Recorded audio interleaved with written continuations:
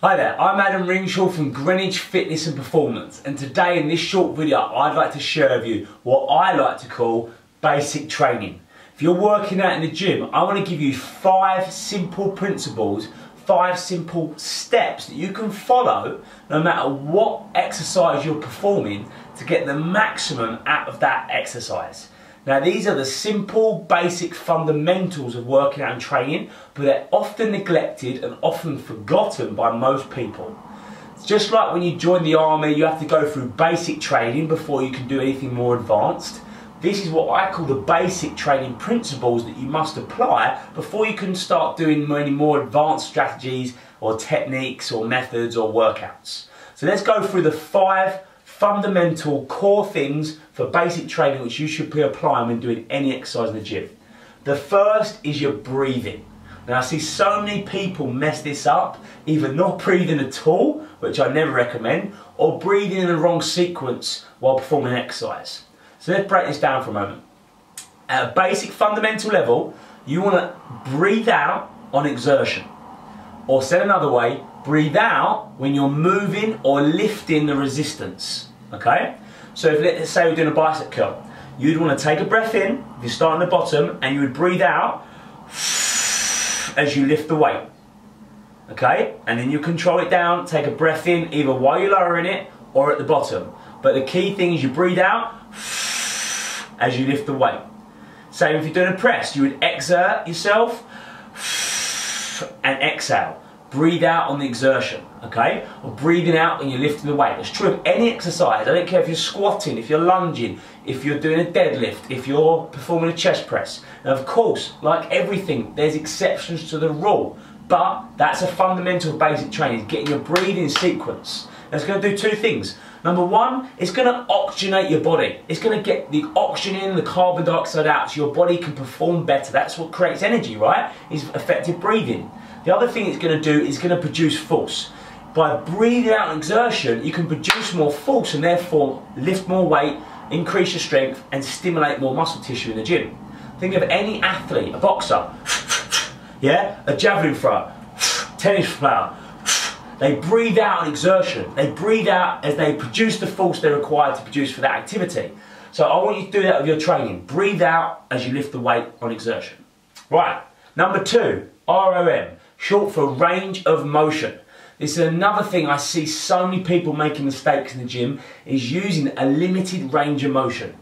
I'm a big, big believer and a big advocate, and I preach all the time to my clients, is using a full range of motion in every exercise, in every set of every rep you perform. For multiple reasons. One of which, using a full range of motion, is going to get a full muscle recruitment in that muscle. You're going to recruit more muscle tissue, more fibres. Two, it's going to keep you more flexible and mobile long term. Okay, if you do a limited range of motion, you're going to use a limited range in the muscle and you're going to create what's called adaptive shortening and you're going to get tight muscles if you do that repeatedly over time. So range of motion, full range of motion, whatever the exercise, basically all the way up and all the way down, okay, as long as there's no bad pain, um, it's going to keep you more mobile, more flexible and keep you in the game long term.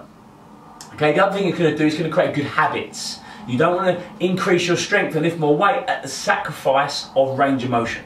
Range of motion first, intensity, weight and reps second, okay? So using a full range of motion every exercise you do, all the way up, all the way down. Again, there's exceptions to the rule, there's advanced strategies, but this is basic training. And um, the only time you wouldn't do this, that you'd limit the range of motion, is if there was an injury you're trying to work around or avoid, or there was some kind of pain. Now, obviously, that's a unique situation but fundamentally full range of motion.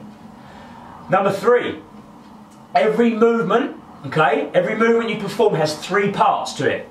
Now most people focus on just one part and therefore they're missing out on two thirds of the benefit of that exercise or that movement. Okay, and those three movements are the lift, the hold, and then the lower.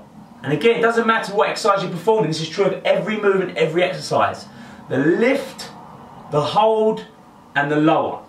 Now, most people in most gyms, you look around and most people only ever perform the lift. They lift, drop, lift, drop, okay? Lift, drop, lift, drop, lift, drop, lift, drop, right? You want to focus on all three movements, all three parts of the movement, and all three components of the lift. So it's lift, pulse, resist. Lift, pulse, resist. Or lift, pulse, lower. Okay? Now we don't need to get into the science behind it. This is called eccentric, isometric, and eccentric. Okay? Sorry, concentric, isometric, and eccentric. I think I said eccentric twice there. So I want you to focus on all three parts. Concentric is your lift, isometric is your hold, and eccentric is your lowering portion of the movement.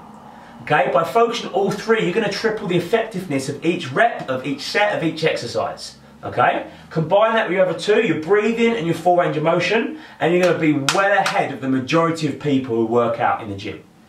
Right, that's part number three. The fourth function, the fourth part of uh, basic training, the fourth principle is the mind-muscle connection. Okay? Now I teach this to all my clients and I tell them to focus on it. Most people, you give them an exercise and then focus purely on moving the weight from top to bottom, moving the weight, okay? Get through the set, perform the number of reps desired, and stop. But they have very little focus or intention on what they're trying to use, what muscles they're trying to stimulate, or what muscles they're trying to target during that movement. So a mind-muscle connection allows you to really focus on what you're trying to stimulate, what muscles you're trying to use during that movement. So a mind muscle connection in a bench press, for example, you would think about the chest, focus on the chest if that's the muscle you're trying to target and that's the muscle you're trying to develop or stimulate. Okay? If you're doing a leg curl, think about the hamstrings or a squat, thinking about the glutes or the quads or whatever, okay? The bicep during a bicep curl. A mind muscle connection. The more you can develop that mind muscle connection, the more effective each exercise, each set, and each rep is going to become. And then the final, the fifth and final principle the basic training is the CANI principle. Okay? Constant and never ending improvement. Listen, guys, there's one thing and one thing only which creates long term results in the gym, and that's progress. Your body is a super adaptive machine, it'll adapt to whatever demand you place on it pretty darn quickly.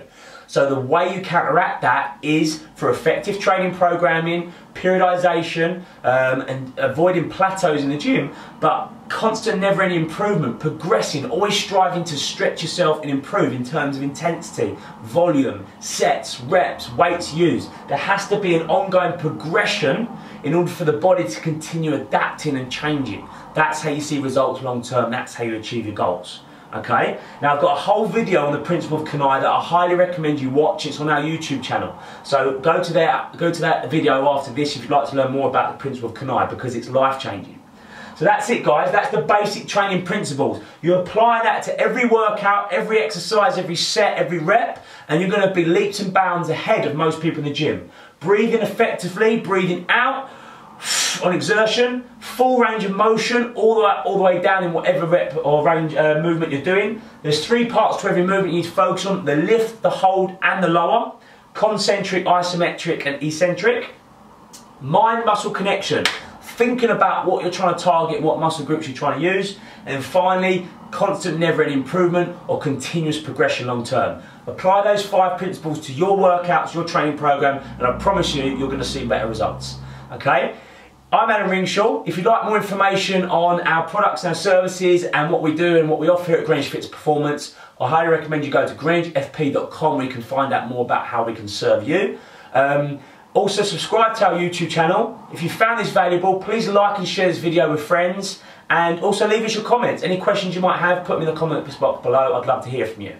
I'm Adam Ringshaw, here to your never-ending success. Apply these principles and I'll see you real soon.